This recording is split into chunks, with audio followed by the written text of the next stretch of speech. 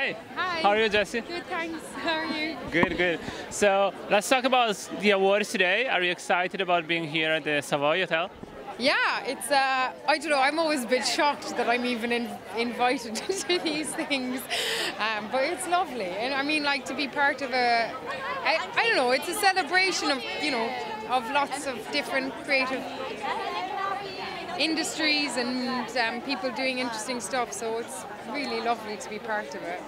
Do you still like to mix things up? A bit of film, music, theater? Oh yeah, I don't like anybody to feel too comfortable with me for too long, especially not myself. so yeah, who knows what's next? I'm not going to become a hip hop dancer, I don't think, but I don't know, maybe. so you're still here for a Beast, actually. So it's been such a long journey, a successful journey. How was it for you? What Beast? Yeah. Well, amazing. Like, yeah, it um, it feels like such a long time ago. But what's lovely is you still have the relationships that you made there, you know, with Michael Pearce and Kristian Brodie and Johnny Flynn and the people that we made it with. We're still great friends, and um, I feel really. I feel really proud that our little film can actually have such a resonance, you know. It was made with hardly any money. It, it was made with all heart and with wanting to experience something in a creative way um, and provoke something and um, and enjoy it, and that's all you can really wish for. So, yeah, I'm delighted. and you know the huge success of Chernobyl this year. How was it? How did you actually expect that to be that big and that? No, not a, like you. You never really expect anything when you're making it. You're just trying to make it as good as it can be. Um, and I suppose I definitely didn't expect that a political real life tragic drama would have such a profound effect and resonance with people across the world and that actually it would really touch people emotionally and also you know provoke thought or whatever um, so yeah it was it was an amazing amazing experience has a, such a dry tense atmosphere but how was it on the set was it different uh, no i mean on set we just it's uh, our responsibility just to try and make it as truthful and honest as it can be. So on set, where you know you create a family and there's camaraderie ship and there's testing the limits of what you feel are within yourself and also with the people that you're working with.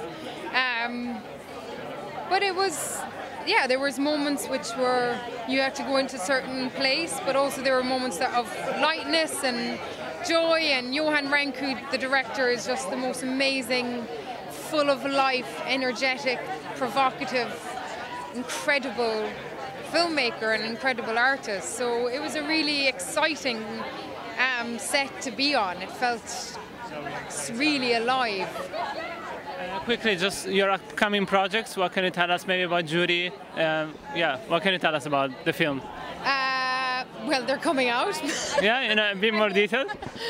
Uh, yeah, I Judy um, with Renee Zellweger is coming out later this year, um, and Renee's incredible in it, and I wish her everything. She's just the most loveliest woman and the most incredible actress.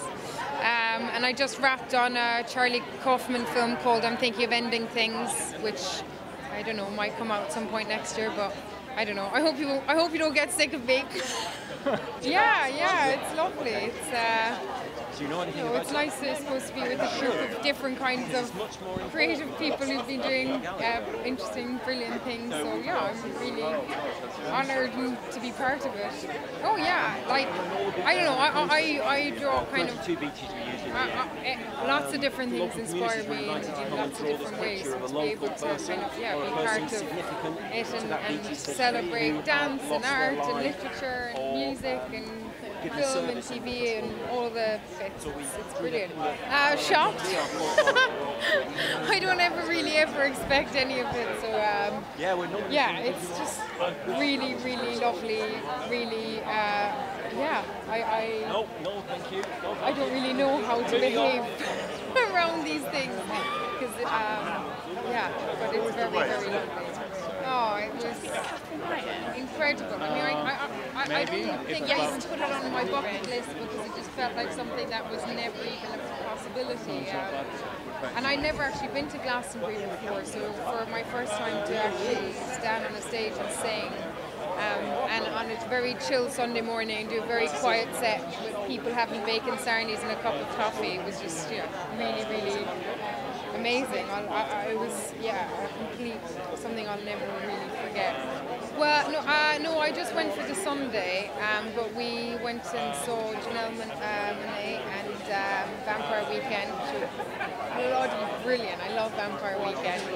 Um, and I'd had two hours sleep because I'd just come from Dublin because we'd been doing some gigs there. So I just was kind of taking it in and uh, having some, you know, nice drinks in the sun and sitting up on the hilltop and looking down. But I mean, it's incredible. It's like stepping into a dream because it's like worlds within worlds, and sometimes you're stepping into nightmares, and sometimes you're stepping into the best dream that you've ever had. There's just such an amazing energy around there. Like just everybody's free and happy, and yeah.